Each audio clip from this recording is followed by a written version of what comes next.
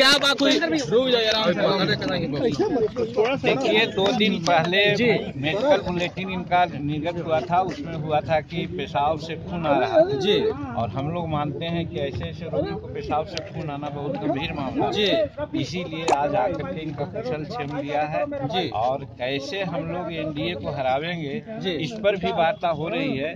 कैसे कैसे तत्व आ रहे हैं कैसे निपटना है ये सब सारी बात हो रही है। जो। मिसडीड से आज एनडीए कर रहा है जिसमें कि महँगाई है भ्रष्टाचार है झूठे मूठे जो वादा किए हैं उसे को नहीं धरती पर आ रही है इस चीज़ को वेंटिलेट किए करना चाहिए यही हम लोग डिस्कस सर हमको कितना सीट अब कोई सीट का भी कोई बातें नहीं है तो कैसे हराइएगा कोऑर्डिनेशन कमेटी की बैठक वहाँ होने वाली है कब? उसी में अभी डेट तय नहीं हुआ लेकिन अगला सप्ताह में होगी सर वो आप लोग सेहत के बारे में क्या रही है सीट लेकिन सेहत इनका नाजुक है मेरी समझ अब धीरज वाले आदमी हैं, अपना अपीरेंस में शो नहीं होने देते हैं, लेकिन जो प्रेसिडेंट उनको डॉक्टर भी आए बैठे, पूछा भी उन लोगों से, सेहत इनका बहुत अच्छा नहीं है। क्या हायर अथॉरिटी में ले जाने की मांग करेंगे आप लोग? इसी का हवाला देकर बेल की मांग किया वो था। वो तो बेल पिटीशन में सारी बातें कह दी गई है। और बेल पिटीशन में जितनी बातें कही गई है उसका हम लोग समर्थन करते हैं। हम भी कहते हैं कि उचित जो इनका चिकित्सा है होना चाहिए। मोहन जी को गया हम फ़ोन किया हमका कि अब आप लोग छोड़ रही है। हमरा गया में भी। आपके लिए बहुत काम करेंगे हाँ। ये पूर्णिया के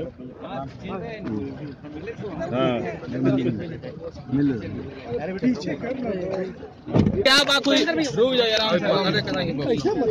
देखिए दो दिन पहले मेडिकल बुलेटिन इनका निर्गत हुआ था। उसमें हुआ था कि पेशाब से खून आ रहा है। जी। और हम लोग मानते हैं कि ऐसे ऐसे रोगियों को पेशाब से खून आना बहुत गंभीर मामला है। जी। इसीलिए आज आकर के इनका कुशल छेम लिया है। जी। और कैसे हम लोग एनडीए को हरावेंगे जी। इस पर भी वार्ता हो रही है कैसे कैसे तत्व आ रहे हैं कैसे निपटना है। ये सब सारी बात हो रही है जो मिसडीड से आज एनडीए कर रहा है जिसमें कि महँगाई है भ्रष्टाचार है झूठे मूठे जो वादा किए हैं उसे को नहीं धरती पर आ रही है। इस चीज़ को वेंटिलेट किए करना चाहिए यही हम लोग डिस्कस सर हमको कितना सीट अब कोई सीट का कोई बातें नहीं है। तो कैसे हराइएगा कोऑर्डिनेशन कमेटी की बैठक वहाँ होने वाली है। उसी में। अभी डेट तय नहीं हुआ लेकिन अगला सप्ताह में होगी। सर वो आप लोग सेहत के बारे में क्या रही है? सीट लेकिन नाजुक है मेरी समझ से। अब धीरज वाले आदमी हैं अपना अपीरेंस में शो नहीं होने देते हैं लेकिन जो प्रेसिडेंट उनको डॉक्टर भी आए आए बैठे पूछा भी उन लोगों से सेहत इनका बहुत अच्छा नहीं है।